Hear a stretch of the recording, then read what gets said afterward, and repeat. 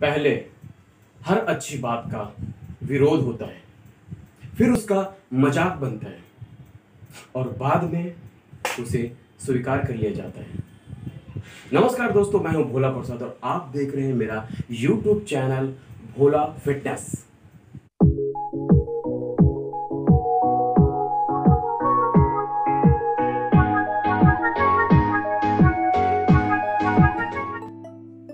आज के इस आसन में जो मैं बताने वाला हूँ, उस आसन का नाम है सेतु बंद आसन।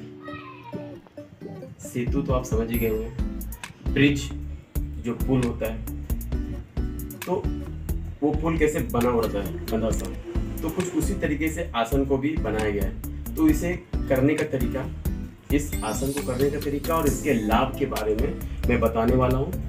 तो आप वीडियो में बने रहिए और ध्यान से देखिए और सुनिए कि इस आसन के करने से क्या क्या फ़ायदे होते हैं और इसके करने का तरीका कैसा है। सबसे पहली बात अगर मैं आसन के फ़ायदे के बारे में बात करूँ तो इस आसन से कब्ज से राहत मिलेगी।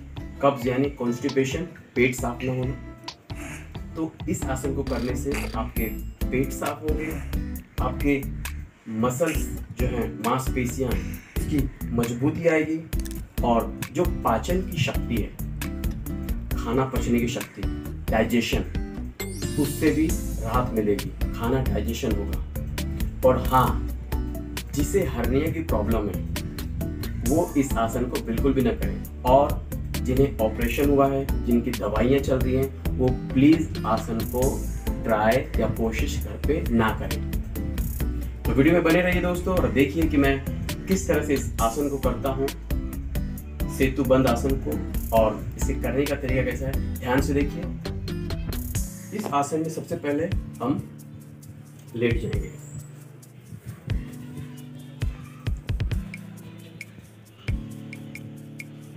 अब पैरों को घुटने के पास से मोड़ देंगे। जितना आता है। उसके बाद कमर को आप हवा में उठाएँगे। धीरे धीरे, जितना उठा सकते हैं, आपकी कैपेसिटी और उसके बाद जो हाथ है आपके, दोनों हाथ, ये आप इससे, आप एडी को छूने की और उसे पकड़ने की कोशिश करेंगे। और इसे आप जितने ऊपर उठा सकते हैं।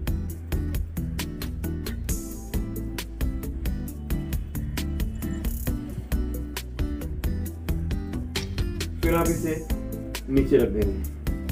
रिलैक्स पैर खोल देंगे।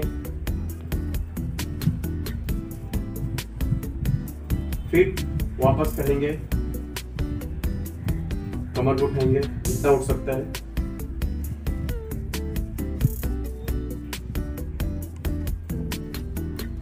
हाथों से घुट अपने एडियो को पकड़ने की कोशिश करेंगे। और ऊपर उठाएँगे जितना उठा सकते हैं। फिर इसे आप नीचे रख देंगे ऊपर उठा करके वही आपको पाँच से दस सेकेंड, दस से पंद्रह सेकेंड उसी तरह आपको रखना है। सांस लेते हुए ऊपर उठाएँगे और सांस को छोड़ते हुए नीचे रिलैक्स करेंगे। इस आसन को आप तीन से पाँच बार करेंगे। फ़ायदे तो मैंने आपको बता दिए।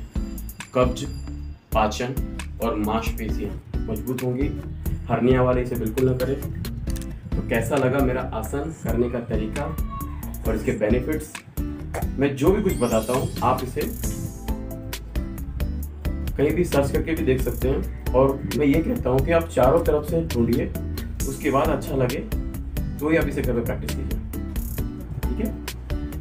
अगर वीडियो अच्छा लगा तो इसको लाइक करें, चैनल को सब्सक्राइब करें और कमेंट्स ज़रूर करें। कुछ पूछना हो, कुछ बताना हो तो उसके बारे में ज़रूर बताएँ। वोला फिटनेस में आपके बने रहने का बहुत बहुत धन्यवाद। Thank you so much Vande Mataram.